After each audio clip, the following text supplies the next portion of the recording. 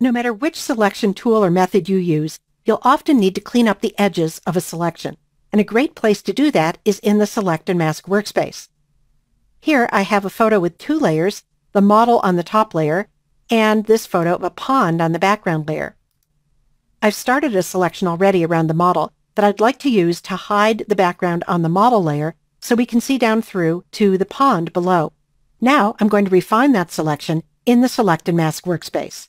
Now if you're following along with this tutorial using this image, you can load the selection as you see it here and follow along with me from this point on. To do that, go up to the Select menu and choose Load Selection. Go to the Channel menu, and there you'll find Model.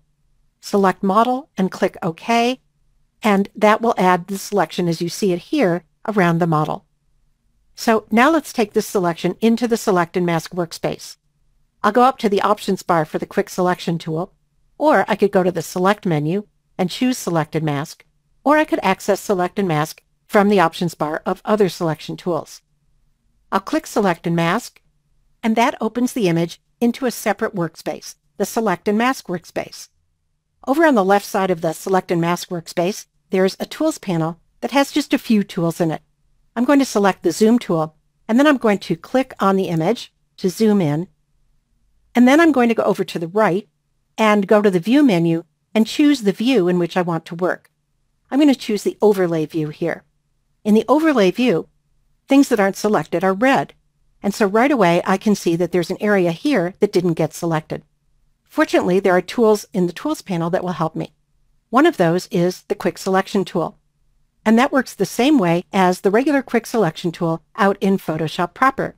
So with this tool, I can come into the image and just drag over that area, and it will select it and find the edge and stop the selection there. And I can try the same thing here and up here as well. And I can change the size of this brush by pressing the left bracket key on my keyboard to make it smaller or the right bracket key to make it larger. I'll hold the spacebar and I'll drag to see another part of the image. Now here, the edge doesn't look very well defined, so I'm going to try another tool here, which is the brush tool. The brush tool is just what it says, a regular brush that you can use to paint in a selection. So I'm just going to carefully paint along this edge, and that will include more of the skirt in the selected area.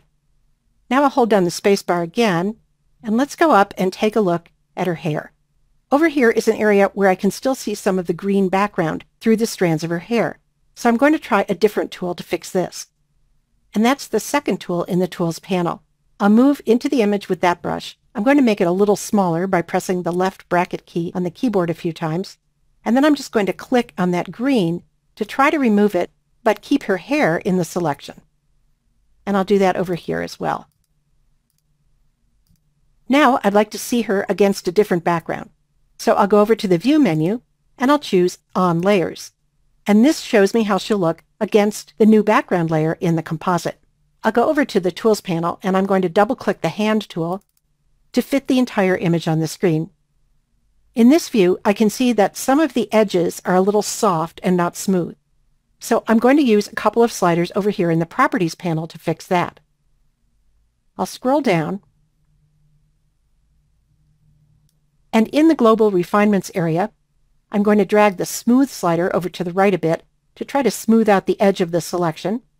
And I'll drag the Contrast slider over to the right to make the edge of the selection a bit sharper.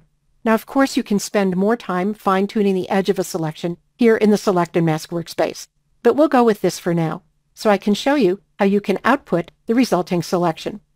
From the Output To menu, I'm going to choose to output as New Layer with Layer Mask, because that gives me a lot of flexibility to make changes later. And then I'll click OK. That closes the Select and Mask workspace and takes me back out to Photoshop proper. So here you can see the model with the original background selected out and the new background, the background on the bottom layer, showing through. So that's an introduction to how you can use some of the tools and controls in the Select and Mask workspace to clean up selections that you make with any selection method.